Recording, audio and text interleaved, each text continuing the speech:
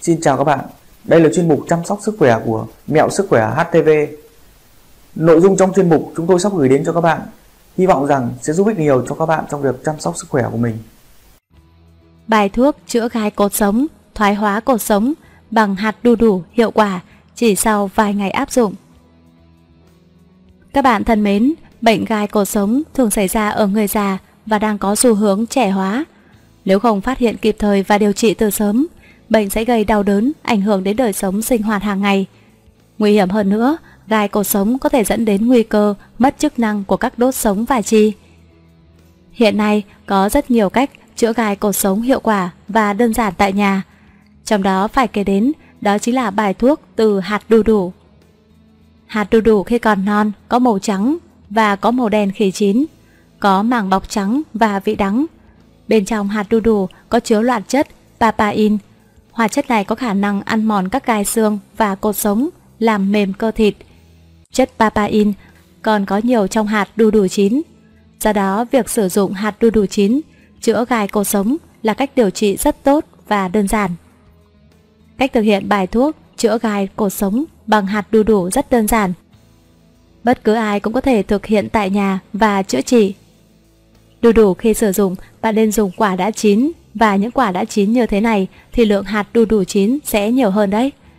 Giờ thì mình sẽ bổ đôi quả đu đủ này ra.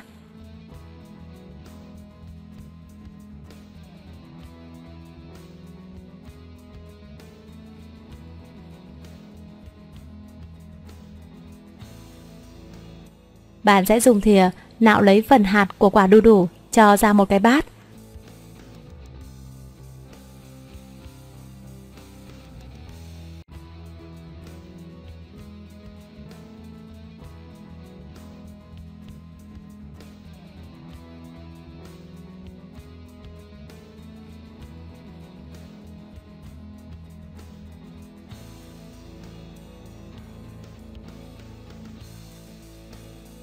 Đây chính là phần hạt đu đủ mà chúng ta đã thu được. Giờ mình sẽ tách hạt đu đủ này ra để loại bỏ phần màng ở bên ngoài và thu lấy phần hạt đen ở bên trong như thế này.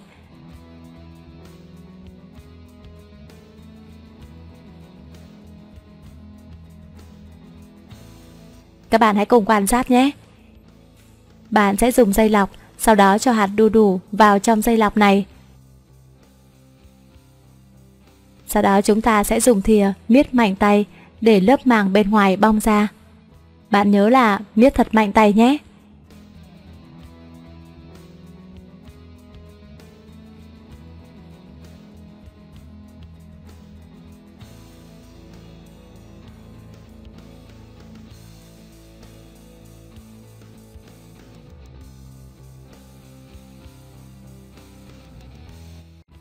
Và đây chính là phần hạt đu đủ mà chúng ta thu được đấy. Giờ thì mình sẽ cho nó vào một cái cối và giã nhỏ nguyên liệu này ra.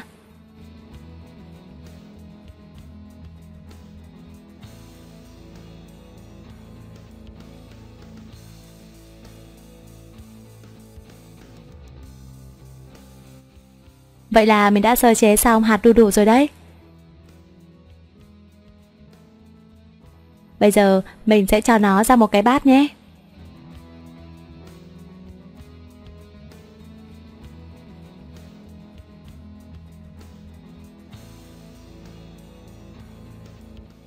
Đây chính là sản phẩm cuối cùng mà chúng ta cần cho cách trị gai cột sống này đấy. Cách các bạn sử dụng như sau. Bạn hãy đắp phần hạt đu đủ này vào vị trí cột sống mọc gai trong khoảng 15 phút. Sau đó mới đắp lớp thứ hai, thêm 15 phút nữa rồi bỏ ra.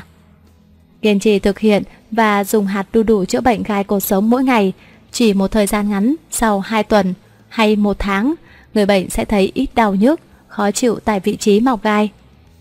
Trong quá trình đắp hạt đu đủ điều trị gai cột sống, nếu như bạn cảm thấy da bị rứt rứt thì mới có tác dụng. Tuy nhiên, mọi người phải biết rằng hạt đu đủ có chứa chất caffeine, một độc tố gây suy nhược hệ thần kinh, rối loạn nhịp thở và mạch đập của tim. Do đó, bạn chỉ nên dùng hạt đu đủ trị gai cột sống đắp ngoài, chứ không dùng để ăn hoặc là chế biến thành thực phẩm nhé. Trong trường hợp dùng hạt đu đủ trị gai cột sống nhưng không mang lại kết quả tốt, tình trạng đau nhức vẫn diễn ra thì người bệnh nên đi khám bác sĩ chuyên khoa ngay để được tư vấn và có những phương pháp điều trị kịp thời. Kết hợp với việc chữa trị bằng phương pháp khoa học hiện đại cùng với phương pháp dân gian sẽ giúp tăng khả năng điều trị gai cột sống. Trên đây là những chia sẻ về phần chữa gai cột sống bằng hạt đu đủ và những lưu ý nhằm mang lại hiệu quả điều trị tốt nhất. Chúc các bạn thành công và luôn mạnh khỏe. Chúng tôi hy vọng rằng với chuyên mục này, với nội dung trong video sẽ giúp ích nhiều cho các bạn trong việc chăm sóc sức khỏe. Xin chào và hẹn gặp lại các bạn ở những video sau.